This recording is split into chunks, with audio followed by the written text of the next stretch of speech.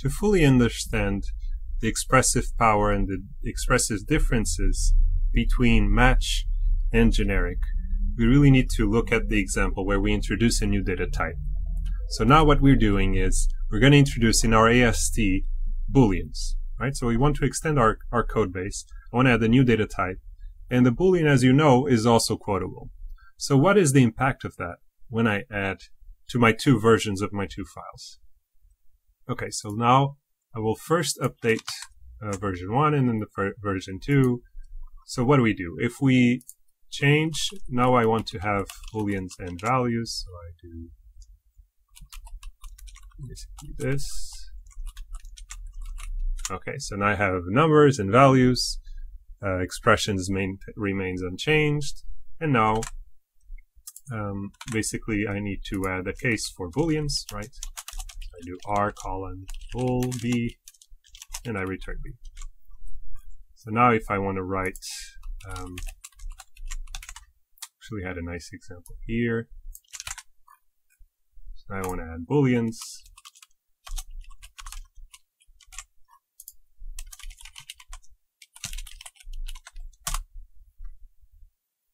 Okay, I see it worked. So if I just do, just copy paste this,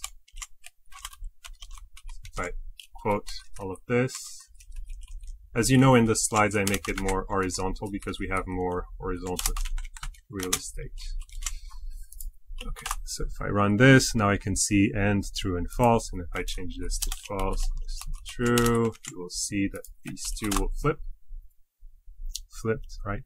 So there you go. Um, so if I wanted to add a new boolean, it's, it's pretty simple, right? I have to go back to our quote and update it. Change the, add a new branch for booleans. The code is very simple. Um, and everything works as expected because the algorithm is recursive. So if I have any booleans inside of this data structure, it will be handled automatically, right? So what do we need to do for example two? Let's look at it. For example two, I want to add um, booleans, right? So to do that, I need to define a new struct um, that is now a boolean. I'm going to do that here. Call bool and I'm going to do bool value, bool value, and I want to copy the example I had before.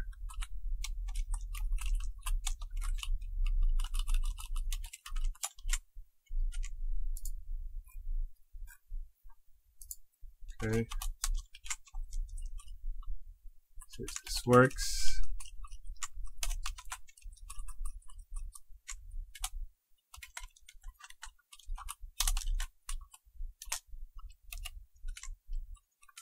Okay, so let's see if the example 2 works. Okay, seems to be working. Now if I copy paste this, and I change this to, to false, and this to, I leave it at false, you will see that I have false, false, false, false. Right, so everything works. If I change this to or, I see or false, false. Of course, we're not evaluating, we're just printing it. Fair enough. So we have uh, the implementation. We extended the code to to support booleans, right? What did we have to do? We simply created a, a new structure. We didn't touch anything else. We just defined the new branch directly with the structure. We didn't have to change the rest of the code. And this is actually a major difference. So let's let's look at the pros and cons in a bit in the next slide.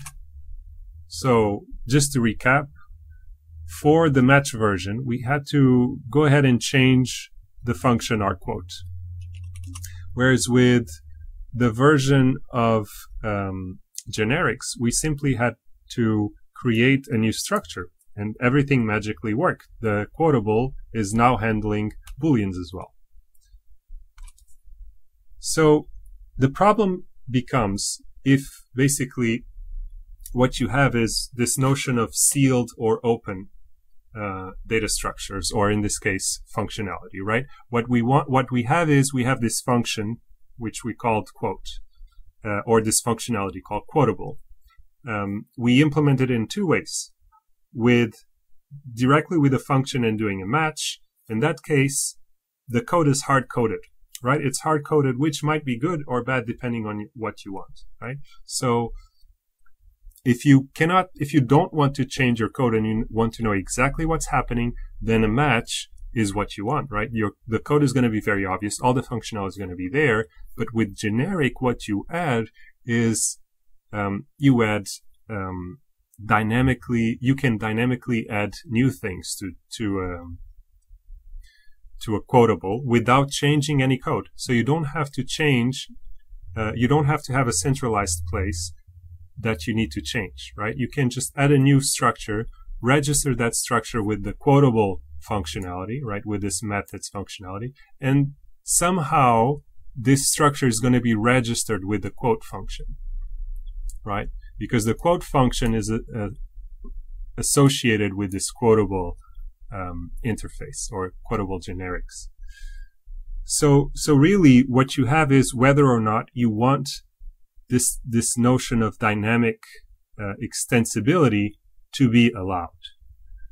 Um, this is especially important if you are shipping code. So imagine you ship your code and you shipped already the quote function, right? So if someone wants to extend the quote function that you have in, in your favorite library, let's say you use JavaScript and it's in um, Node somewhere, it's in the package manager in the npm, right?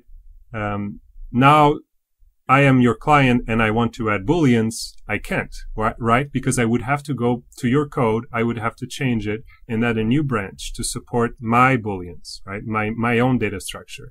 So what that means is that when you use match, you're kind of hard coding or fixing your, the range of possible values that can be operated by that given function. But with generics, you leave the door open. You allow an extension point. And this could be problematic for security, but could also be beneficial because that's the intent, right? So it's really up to the designer to decide whether they want to allow for that uh, open-endedness to exist or not.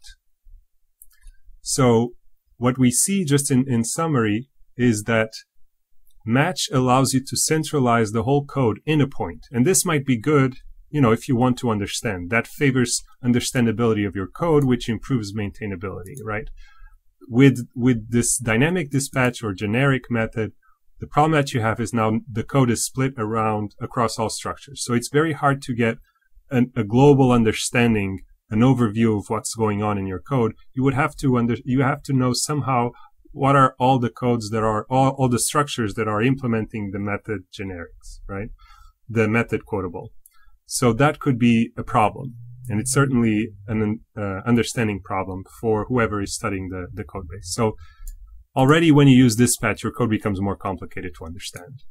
But match does not allow for extension points. It's really a sealed, hard-coded solution. Whereas with dispatch, you have this um, possibility of dynamism where any code can register and become a quotable function which might be something you really want. So it, it could be a make or break feature. Um, in the next slide, so this is two key uh, questions for you to think about. Uh, first one is in which of the code, in which of the two solutions, match versus dispatch, is the code centralized? So this is something I just said. Try to answer that. And which of of these two solutions allows for extension points? So that's something for you to try to answer by yourself. Uh, in the next slides, I'm not going to cover um, in a video, but I invite you to follow along. I will explain how to implement uh, generic using Racket. So how can you do it from first principle? So I hope you enjoy uh, enjoyed this lecture, and I hope you are also curious about how to implement generics. Hope you have a good one.